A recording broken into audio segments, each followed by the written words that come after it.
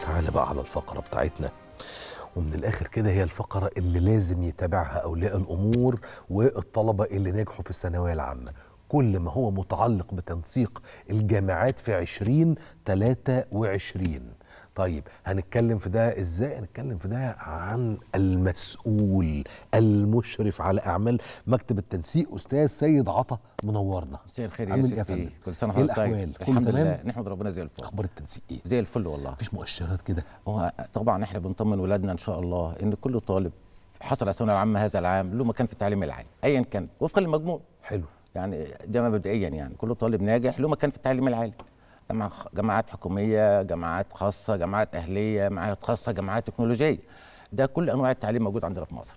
يعني كل أنواع التعليم موجود في مصر حاليا دلوقتي. جميل. لكن مفيش مؤشرات كده تقول لنا مرحلة أولى ما هو المرحلة الأولى بدأت من يوم السبت من يوم السبت اللي هو كان خمسة. آه. هت- هتنتهي يوم الأربعاء اللي هو تسعة بإذن الله. ده بالنسبة إحنا طبعا الم- المرحلة الأولى إحنا مقسمينها شرايح لعلم علم علوم علم رياضة وأدبي. آه. والحدود الدنيا بالنسبة لشعبة علوم 88 آه، في المية فاصلة 29 حلو. آه، رياضة 83 فاصلة 41 هايل. آه، أدبي 70 70 في المية فاصلة 61 ده الشريحة اللي متقدمة للمرحلة الأولى. بإذن الله. ويا ريت كل طالب في المرحلة الأولى ما ما, يترددش في إن هو يقدم في هذه المرحلة.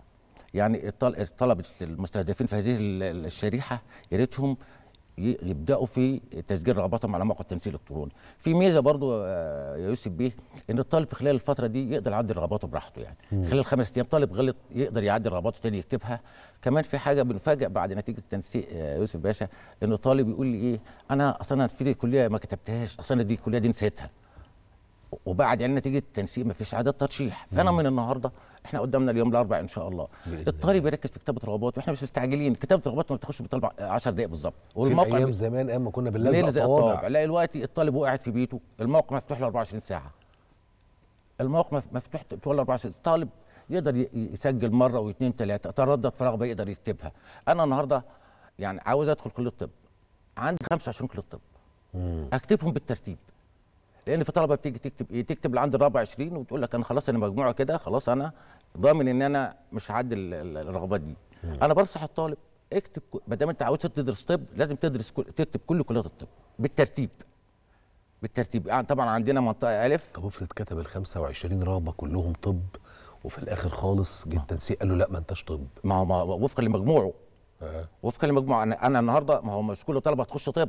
يعني الطلبة الطلبة ديت طبعا إحنا لنا عدد محدد من ال- الأماكن مرتبط بال, بال آه، أنا بدي مثال لطب مثلا عشان إحنا بنتكلم في المرحله الاولى هندسة حاسبات معلومات تجارة أدب. بالنسبة للأدبي بالنسبة ب- يعني ما كانوا على زمان يقولوا لنا إيه؟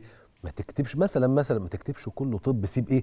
آخر ثلاث كليات حاجات تانية عشان لو ما جاتش طب تعرف لا أنا إيه عندي ترشق في دي. 75 رغبة.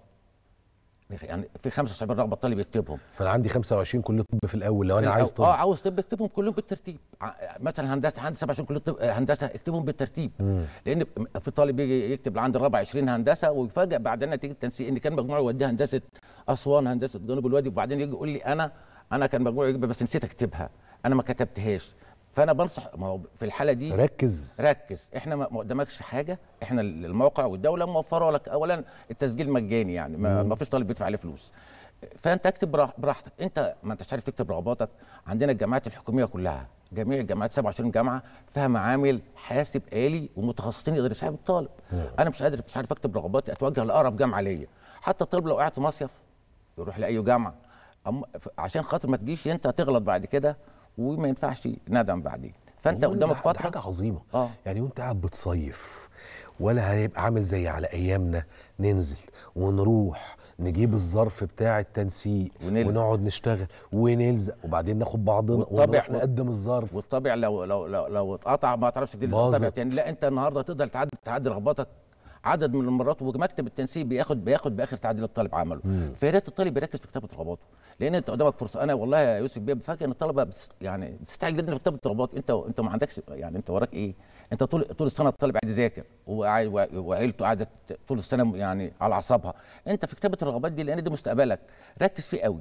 لأن إحنا كوزاره وكدوله إحنا فاتحين لك الموقع. عدل براحتك اكتب رغباتك براحتك نسيت كلية اكتبها تاني. عدل اللي انت عاوز تعدله تعدله بس في آخر آخر تعديل انت اللي تعمله هو اللي- مكتب التنسيق بيرشح الطالب. على أساسه. فدي نصيحة مهمة جدا دي أكتر أخطاء الطالب يقع فيها. حلو جدا. طيب ما بين بقى إن إحنا اتكلمنا شويتين عن المرحلة الأولى بشكل عام وأنا بقدم فممكن أبقى مش داخل الجامعات الحكومية داخل المعاهد الخاصة. والمعاهد الخاصة دي حدوتة لأن في منها اللي هو على رأي الجوهرجيه يافت ده تمام ومعتمد من الوزارة وفي بقى المعاهد الوهمية والإعلانات الوهمية. والتهجيص بقى اللي بيجرى والنصب على خلق الله. أنت بتتكلم في حتة مهمة جدا.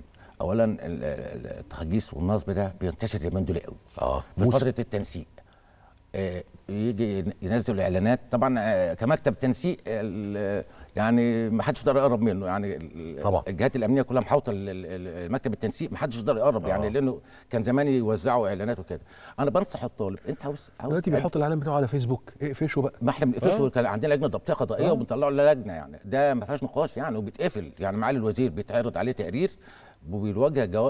قرار بيطلع قرار وزاري بغلق هذا الكيان. حلو. وبنبلغ المحا... المحافظ عشان يقفله ك... كناحية إدارية. حلو. إحنا بننصح الطالب دلوقتي أنت ادخل على موقع الوزارة ادخل على موقع مكتب التنسيق.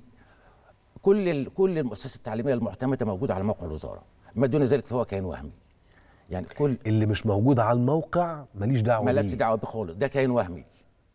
ما تتصلش بيه. آه. ما تقولش طب بس أتأكد. انت أنت قدامك بص حضرتك عندنا 27 جامعة حكومية. عندنا 175 معهد خاص. عندنا 44 معهد حكومي. عندنا 10 جامعات تكنولوجية. عندنا 20 جامعة أهلية. عندنا 27 جامعة خاصة. عندنا عندنا فروع للجامعات الدولية. جميع المؤس... جميع مؤسسات التعليم موجودة في مصر. يعني أنت مالكش حجة عشان تروح لهذا المكان. وبعدين أنت هتروح له ليه؟ ما كل الدولة موفرة كل أنواع التعليم. يعني من لعند 50% هتلاقي مكان. فانت بت- بيروح وبعدين في طلبة بقى يقول- في بعدين برضو في حاجة تانية الجماعة اللي بيعلنوا عن نفسهم الكيانات الاماميه دي بيختار تخصصات يعني براقة شوية. آه. إعلام تمريض بيشوف السوق عاوز إيه. إعلام تمريض طبعا إحنا بنقفل الكلام ده كتير جدا. هم دايما بيشتغلوا في الحتت اللي بيلاقوا فيها طل... يعني إقبال. إقبال. فأنا بنصح الطالب إحنا عندنا كل أنواع التعليم موجود. أنت ما تروحش هذا المكان لأن أنت بتضيع سنة أو اتنين من عمرك وتفاجئ إن أنت بعد كده وبعدين يقول له إيه بيأجل تجنيد كمان يعني بتوصل لكده. أيوه. آه طبعا الطالب بيفاجئ بعد وهو بيدرس إن هو مطلوب بالتجنيد. طب أنت ليه؟ أنت عندك عندنا جميع مؤسسات التعليم بتأجل التجنيد لحين ما تخلص المرحلة الجامعية بتاعتك. فأنت ليه تروح لهذا الكيان؟ ما هو في بقى كمان ساعات من أولياء الأمور والطلبه اللي بيقع في الفخ اللي بياخد بعضه ويروح على المقر بتاع المعهد اللي ال- ال- ال- الوهمي ده. فيقول له بس أنا دخلت على الموقع ما لقيتكش. فبيروح الرد هنا بقى إيه؟ لا ما إحنا مقدمين. ده إحنا خلاص. أربع أشهر وهناخد الاعتماد وهنبقى مرخصين وإحنا زي الفل. أو أصل إحنا هنطلع بس بسنه أولى وإن شاء الله في سنة تانية ابنك في الت... ولا تشيل هم. نقول للناس دي إيه؟ إيه، طبعا يبتعد عن هذه الاماكن خالص. لأن أنت عشان ترخص معهد خاص النهارده أو أي مؤسسة تعليمية دي لها إجراءات طويلة جدا يعني. طبعاً. طبعا. وبعدين في حاجة برضو يعني أنت النهارده كطالب بيروح يدرسوا في شقة. 300 400 طالب 500 طالب في شقة. افرض الله يقدر حصل أي مشكلة. أمال إحنا بالنسبة للمعاهد أو أي مؤسسه تعليمية بيبقى طبعا في الأمان ال- يعني جميع وسائل الأمان موجودة. ال- ال- بالنسبة أمال أنت هتروح تقدم في مكان ما أنتش ضامنه وهتضيع سنة ولا اتنين من عمرك وبعدين ترجع تاني يرجع يجي لنا الوزارة. طب إحنا إحنا كوزارة نعمل لك إيه؟ إحنا بنحذر بنقول لك يا حبيبي يا, ابني انت ما ما تقدمش في, أي كيان من من, من هذه الكيانات إلا ما تدخل موقع الوزارة وتتأكد إن هذا الكيان معتمد من وزارة التعليم العالي ما دون ذلك فهو فهو وهم يعني طب هو لسه لحد دلوقتي يا فندم كان زمان كده بتحصل حاجات غريبة يقول لك مثلا إيه جامعة شو- شو أي حاجة بالإنجليزي بالألماني للأسف، بالفرنساوي آه. ومقرها فمش عارف إيه في آه، ولاية نيويورك آه، أي كلام فارغ. وفي ناس بتتاخد ورا الوهم ده على إنه الواد بقى هياخد الشهادة بتاعته من أمريكا والشهادة بتاعته من إنجلترا بس إحنا عاملين مقر في مصر. مقر، أونلاين. مؤقت. آه، آه. وبندرس فيه بطريقة التدريس اونلاين لسه الكلام ده موجود. موجود. وبيختاروا أسامي براقة أسامي جامعات أسامي جامعات كبيرة يعني للأسف يعني. بس إحنا ما بنسيبهمش يعني. أنا النهارده مثلا كان لجنة ضبطيه قضائيه في أحد الأماكن النهارده. وبكرة رايحه أماكن. يعني إحنا يوميا إحنا دلوقتي قفلنا حوالي ما يقرب من 350 كيان وهمي قفلناهم قفل. كيان بيتحقق للناس. 350 350 اللي عندي النهارده مع وأنا قاعد مع حضرتك 350 مكان. وفي في لجنة ضبط القضية متحركة بكرة. يعني إحنا مجرد ما بيجي لنا أي شكوى. بتيجي شكوى مع الوزير الدكتور أيمن بتيجي بتيجي حد بيجي يكتب شكوى في الوزارة بتجي لنا على الواتس بيتحرك مع الوزير بيحرك لجنة ضبط القضية فورا لأن ده ده بيتاجر في عقول أبنائنا وبي يعني بي- بيخش في أماكن مش كويسة. وبعدين ما أنتش عارف بيعلموا إيه الطلبة. ما أنت خد بالك برضو الفكر اللي موجود ما أنتش ضامن هو بيعلموا إيه بيدرسوا إيه للطلبة. فإحنا من خلال البرنامج بننصح أي طالب ما تقدمش في, في أي مكان من هذه الكيانات إلا ما تتأكد من موقع وزاره التعليم العالي. ما دون ذلك فهو كيان وهمي. والموقع سهل ومتاح ما- ما وموجود فيش مشكلة. و... و... و... وبعدين انت النهارده ده دوسة زرار يعني. آه انت النهارده انت جاي تقدم في مكتب التنسيق. ادخل على موقع التنسيق. ادرس شوف كل الكليات ادرس شوف المعاهد. بص على كل حاجة. وبعدين إحنا عاملين على الموقع دليل للثانوية العامة دليل للشهادات الفنية دليل لشهادة المعادلة العربية واجنبيه كل أنواع ال يعني يعني التفس الت... ال... الأدلة دي موجودة آه. بشرحه وافية للطلبة كلها. فيا ريت برضه كل طالب قبل ما حتى يا سيدي وهو بيسجل رغبات يخش على الدليل يقراه مش هياخد منه خمس دقائق لأن الطالب بيستعجل مش عارف بيستعجل ليه. إيه اللي من واقع الخبرة إحنا بقالنا سنين من ساعة ما اتعمل أول ترخيص لمعهد خاص أظن بقالنا يجي 30 31 سنة دلوقتي. فعلا. من واقع الخبرة فن إيه اللي بيخلي ولي أمر وطالب يقعوا في الفخ ده؟ يعني الصنارة دي بت... إيه الطعم؟ طبعا هو زي ما قلت لحضرتك مع إنه قدامه المعتمد. آه. هو برضو بي بي الطالب ما جابش مجموع يدرس مثلا إعلام يدرس تمريض يدرس سياحة. من عندي لحد 50% بيقبلوا. ماشي. فبيروح للمكان دوت. الإعلانات بتبقى بتبقى براقة قوي قوي يعني. والطالب بيروح هناك يفاجئ إن هي شقة عبارة عن شقة ومش مكان ك- والطالب أنا أعتقد برضو معلش برضو في الطالب بيبقى عارف ان ده مكان مش معتمد. أنا يعني لما الطلبة بتجي لنا بقول له يا ابني أنت ما كنتش مش كنت عارف طب أنت قدمت في التنسيق ولا قدمت في التنسيق؟ طب ما طب ما كملتش ليه في التنسيق يا ابني في المعهد اللي جالك أو الكلية اللي جات لك يقول لي أصل أنا رحت بقى لقيت هناك دراسة سهلة و... وقالوا لي ده أنت هتقعد سنتين وهتطلع تشتغل وهنوفر لك وظي... فرصة عمل والكلام ده. ف يعني يعني الط- الطالب وولي الأمر أعتقد بيبقوا عارفين إن ده كيان وهم فيا ريت محدش يقدم في هذه الكيانات الوهمية. إحنا بن... بنعاني من هذا الأمر. وبعدين الطالب يجي لي بيبقى صعبان عليا. ضيع من عمره سنة ولا اتنين ويجي. يفاجئ إن هو إن هو صرف فلوس وضيع من عمره وفي نفس الوقت ما بياخدش شهاده. يعني أنا الحقيقة بالنسبة لي الموضوع بيبقى غريب جدا لأنه أنا عارف ومتأكد إن هناك بعض من الأسر آباء وأمهات ممكن يبيع اللي وراه واللي قدامه علشان يعلم طبعا العيال. طبعا طبعا. اولا تعليم التع- التعليم دوت في ناس كتير جدا ممكن تبيع اللي وراه واللي عشان تعلم عيالها لأن ده الاستثمار في العقول في آه. البشر. وده إحنا إحنا طبعا إحنا شعب مصر بنحب التعليم عموما. يعني كلنا. آه. فما تضيعش ما نضيعش عمرنا. وبعدين الدولة ما سابتلكش حاجة. كل أنواع التعليم موجودة. أنت ليه تروح الاماكن زي كده؟ زي الطلبة اللي بيسافروا بره. أنت ليه ما أنت بتسافر؟ ما أنت عندك أنت عاوز تدرس إيه؟ كل حاجة موجودة. يعني إحنا عندنا النهارده ما فيش أي أنواع تعليم موجودة في مصر. وأنت حضرتك ممكن قبل الفاصل بتتكلم أما قابلت ال- أيوه. قابلت طلبة في لندن. قابلت ناس آه. يا دين النبي والله العظيم كم ناس بتتكلم على الجامعات اللي أصبحت موجودة في مصر والمؤهلات العلمية اللي موجودة والبحثية اللي موجودة وكم الإقبال عليها. الناس أصلا مش مصدقة إن مصر بقت كده. وناس كانت عايشة بقى لها سنين يعني. بقى لها سنين هناك وممكن ما كنتش بيعرف عربي ويجي يدرس هنا. آه. لأن إحنا عندنا جميع أنواع ال- ال- ال- الشهادات وجميع أنواع التعليم. أنت حضرتك بتقول لي إن أنت قابلت ناس مصر مقيمين هناك في, لندن وقال لك هندرس في مصر. ده في إنجلترا. وعلى منه وفي اسهل الإمارات. آه. وفي ناس عايشة في الولايات المتحدة الامريكيه لأنه لما بيجي يحسب وبالذات اللي في في أمريكا لما بيجي يحسبها يجي يقول لك أنا تكلفة التعليم عليا كذا كذا كذا كذا كذا. طب أنا لو عندي جامعة كويسة وكبيرة ومعتمدة دوليا وبتقدم لي البرامج اللي بتتقدم في أمريكا وفي أوروبا طب ما أنا أودي العيال ما. ده ك- ده- وتقف عليها ارخص. وده اللي حصل فعلا يا فندم. يعني أنا أنا الفكر ده عاجبني جدا يعني. دليل إن الناس دي بتفكر كويس. يعني على منهم قيم هناك ومع إقامة ممكن يتعلم هناك كل حاجة بس بيقول لك هاجي ادرس في مصر.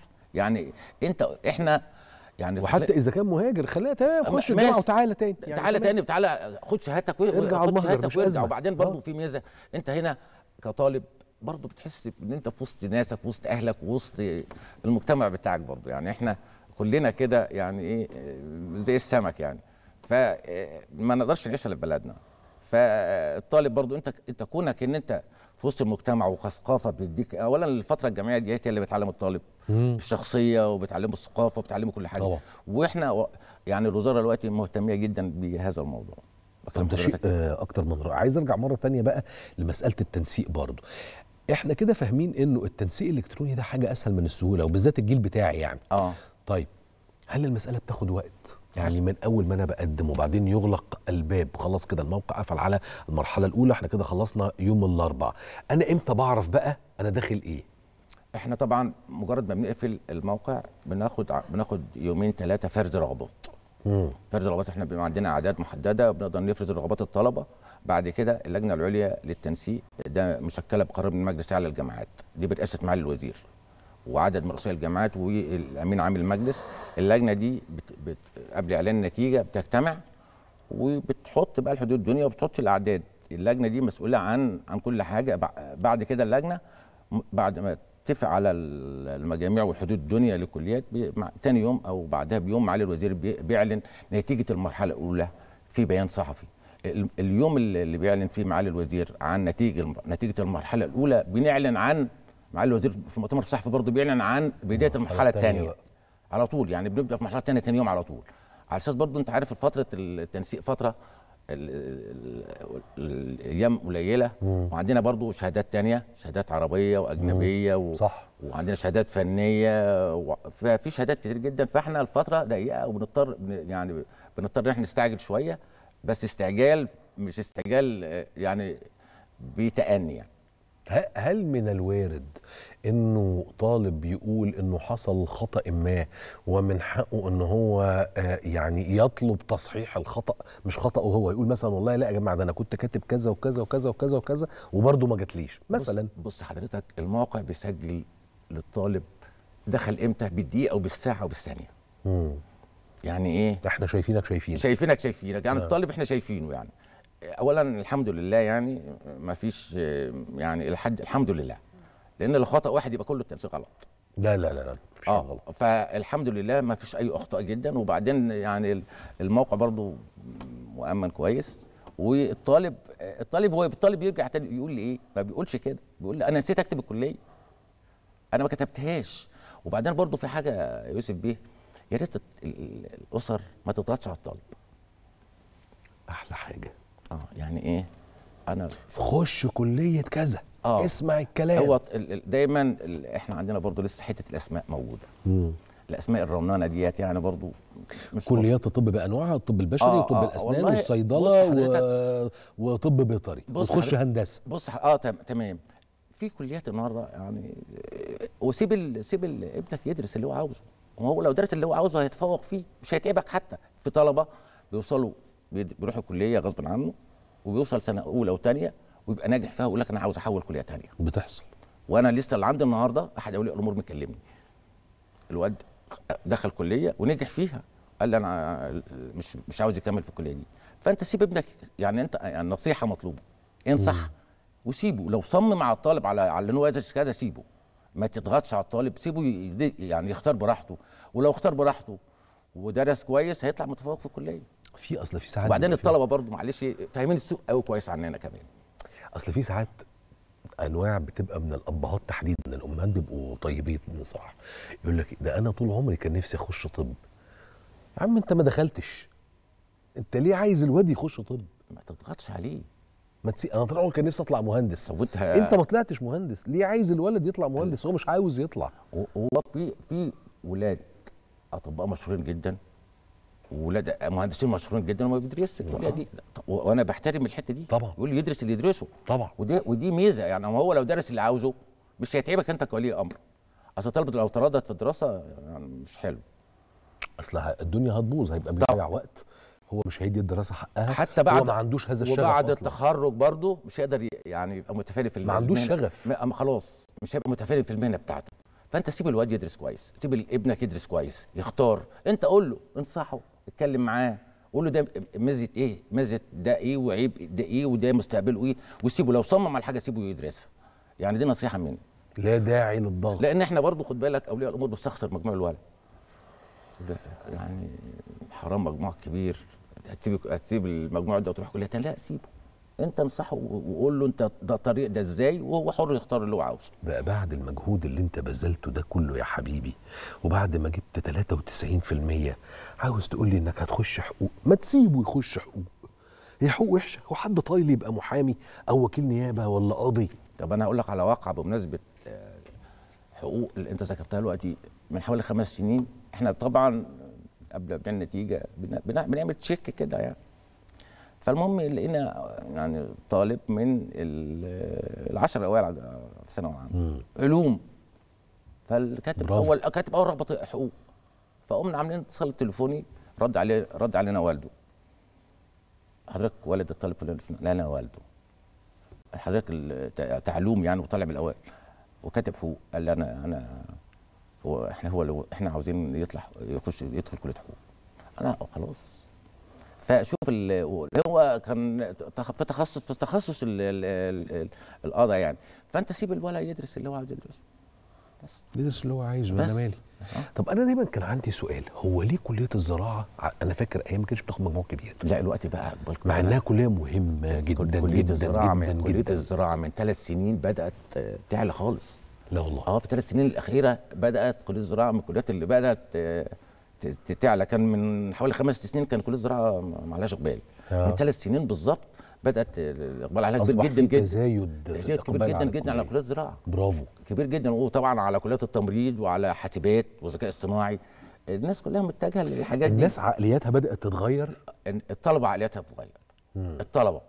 وأنا الطالب الطالب ذكي قوي يعني الطالب الطالب شاطر. وذكي لا ده الولاد دول قرود. بس تسيبه. الجداد دول قرود. يعني دايما الأسرة تسيب الواد شوية. يعني أنت ما يعني سيبه يختار براحته. الطالب داخل على النت وعارف ويمكن آه. آه. عارف كل التخصص ده هيطلع يشتغل إيه وهيعمل إيه وكل حاجة. فأنت سيب الولد. العيال ديت والله العظيم الطلبة دول أحسن مننا كتير يعني. الصراحة لا لا هم فعلا جيل مذهل بصراحة. آه، ده آه، رأيي. آه، يعني أنا آه. ضد يقول لك إيه ده شوية عيال مش فاهمين حاجة. لا ده لا والله جيل العظيم مذهل. والله العظيم حاجة تشرف والله العظيم. شباب يشرف بأمانة ربنا. واذكياء وشطار. يعني أنا أقعد أفكر كده أقول إيه؟ لما حضرتك قلت لي على موضوع لا ده زراعة بدأت فقعدت أركز كده قلت آه طب أنا خلال الكام سنة اللي فاتوا دول شوف إحنا استصلحنا كام مليون فدان هي لحد دلوقتي كده. وبالتالي العيال مخها نور. يقول لك الله أمال مين اللي هيعمر الدلتا الجديدة؟ طبعاً. امال مين اللي هيشتغل في سينا أمال مين اللي هيشتغل وده اللي في وده اللي حاصل. وإحنا كمان بنحاول نزود أعداد كليات الزراعة كمان. إحنا لما لقينا الإقبال عليها كتير بدأنا نزود في كليات الزراعة. إحنا برضو إحنا معالي الوزير واللجنة العليا للتنسيق برضو بنشوف الكليات اللي عليها إقبال إيه؟ يعني الزراعة والكلام ده. آه. طبعا البلد محتاجة الكلام ده. كله. فبنزود العدد في الكليات دي. تمريض زراعة الكليات اللي عليها طلب في السوق. أستاذ سيد نورتني وشرفتني وأسعدتني وطمنتني. ربنا يطمن أنا بنتي السنة الجاية. ثانوية عامة والنبي لا تاخدوا بالكم ربنا على ربنا. يخلي حضرتك. كل الشكر ليك يا فندم. كل الشكر للأستاذ سيد عطا المشرف العام على أعمال مكتب التنسيق. شوف. المشرف على التنسيق بيقول لك ما تضغطش على الواد ما تضغطش على البنت. سيبوا العيال تختار مستقبلها. ما عليك إلا النصح. ما تضيعوش مستقبل العيال. سنة من العمر دي كتيرة كبيرة. كل شكر مرة ثانية أستاذ سيد عطا. نورنا وشرفنا.